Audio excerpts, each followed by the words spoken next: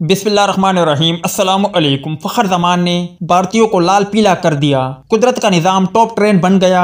ये वीडियो उन भाइयों के लिए है जो भारत की सपोर्ट करते हैं और भारतीयों के गुण गाते हैं। चाहे वो पाकिस्तानी हो, इंडियन हो या फिर अफगानी, किस तरह फ़खर जमान ने लाइव आकर दिल जीत लिए, वीडियो सच्चे पाकिस्तानी लाइक करे, जो मानते हैं कुदरत के निज़ाम को, वही वीडियो लाइक करे। दोस्तों, तीन दिन पहले ही भारतीय बड़े बड़े वेबसाइट, टीवी चैनल पर एक ही खबर चल रही थी कि पाकिस्तान सेमीफाइनल से आउट हो चुका है और पाकिस्तान सेमीफाइनल के दौर से बाहर हो गया है। जबकि पाक फ़ैन इसी में लगे रहे कि अगर ऐसा हो गया या फिर वैसा हो गया तो पाक टीम सेमीफाइनल के लिए पहुँच जाएगा, जिस पर भारतीयों ने बहुत ज़्यादा तंस किया और मज़ाक उड़ाया कि पाकिस्तान की अगली फ़्लाइट पाकिस्तान है। मगर कुदरत का निज़ाम देके वही हुआ जो हम चाहते थे। हम बारिश मांग रहे थे अल्लाह ताला से कि नीदरलैंड और साउथ अफ्रीका के माबेन होने वाले मैच में बारिश हो जाए। और अल्लाह ताला ने यहाँ पर भी हमारे लिए इससे भी ज़्यादा बेहतर आसानी पैदा कर ली।